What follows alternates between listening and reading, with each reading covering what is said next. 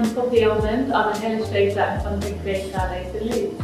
Um, I moved here for uni about eight years ago. Um, moved to London once I graduated and then moved back about four years ago now. I just love like all the different independent stores and restaurants um, and just like the creative scene. I've been thinking about my favourite spots near the Astrid and Miyu store.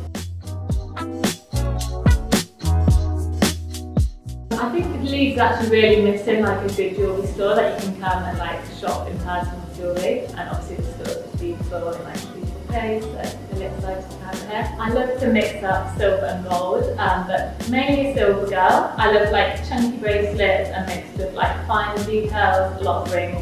I've come in to get a welded bracelet which I'm so excited for. It looks so cute.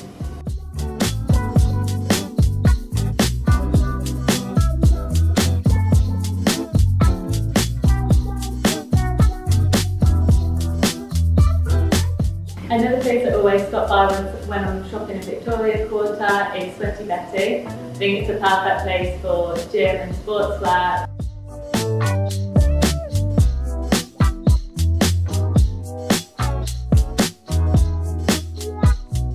A few of my favourite lunch spots in Leeds are North Star, um, bottle shop if you're in Headingley area, um, but today we're going to go to Eagle Green. They do the best natural wines, all their fruit and veggies, natural produce. My go-to order is the smashed potatoes, to try them, they're so good.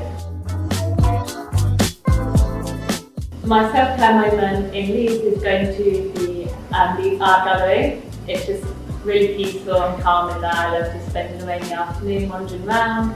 They also have a really lovely cafe there. I went to Leeds College of Art, so I was always there during my time at uni, like gathering inspiration. The final stop of this tour is for a drink at Angelica's. It's one of my go-to for like a fancy cocktail with the girls or if we're celebrating something. I also love drinks at Headrow House, Bottle Shop or Belgrave.